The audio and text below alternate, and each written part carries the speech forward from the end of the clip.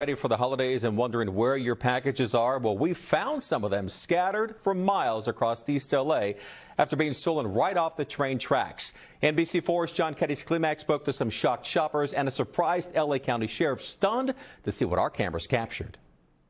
You surprised that we that we reached out to you like this? Honestly, yeah. Imagine waiting for your unborn baby's car seat to arrive in the mail in Seattle, only to find out its opened box was sitting near the train tracks in East LA. I'm going to show you what um, what we saw. We reached out to Eve Schaefer, who said she was waiting two weeks for this to arrive, only to get a call from us. So here's your box. Yeah.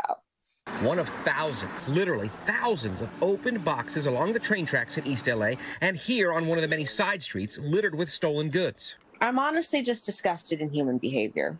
And had you called asking where it was? Yeah, we've been, my mom and I both, calling Target, FedEx. They've just reassured us that it's delayed. But here's the truth packages are being taken. We spotted people on the tracks nearly every time we came to check with things in their hands. Union Pacific says they are aware and that unmistakable warning whistle when those thieves realize they're being watched. It's awful. I mean, people are expecting to receive things that are never coming and paid money for this stuff that's just abandoned. We met Lindsay Schmantz in Canyon Country after we spotted her empty box scattered among the trash. What do you make of this?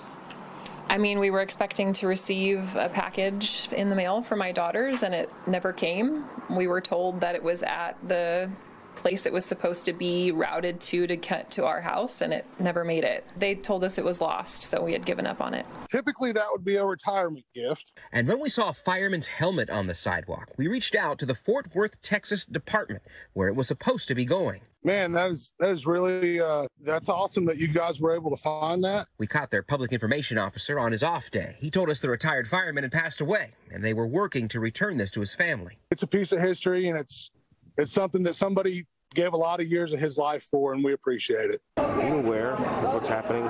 We showed LA County Sheriff Alex Villanueva what our cameras captured the thieves in action, the bolt cutters in hand, the wide open cargo containers. Wow. Insane. That's all pulled from trains. yeah. Wow. Yeah. That is, no, this is new to me. The department has something called the Cargo Cats Task Force. The sheriff promising they'll look into this. Oh, wow. Now look at that. They're, they're popping them open. They're stealing everything. Holy moly. From East LA, We're going to put someone on that. John Cadiz Klemack, NBC4 News.